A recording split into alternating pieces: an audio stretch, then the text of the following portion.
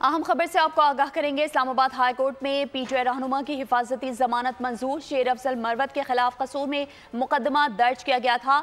Islamabad high court ने Punjab police को शेर अफजल शेर अफजल मरवत की गिरफ्तारी से रोक दिया। शेर अफजल मरवत की दस हज़ार जमानती मचलकों के एवज दो हफ्तों की हिफाजती जमानत मंजूर हुई है। तो आपको खबर दे रहे हैं इस्लामाबाद हाई कोर्ट से, जहाँ पीटीआई रहनुमा की हिफाजती जमानत मंजूर हो गई है। शेर अफजल मरवत के खिलाफ कसूर में मुकदमा दर्ज किया किया गया था। इस्लामाबाद हाई कोर्ट ने पंजाब पुलिस को शेर अफजल मरवत की गिरफ्तारी से रोक दिया। शेर अफजल मरवत की दस हज़ार जमानती मचलकों के एवज दो हफ्तों की हिफाजती जमानत मंजूर हुई। सब्सक्राइब करें और बेल दबाएँ ताकि कोई खबर रह न जाए।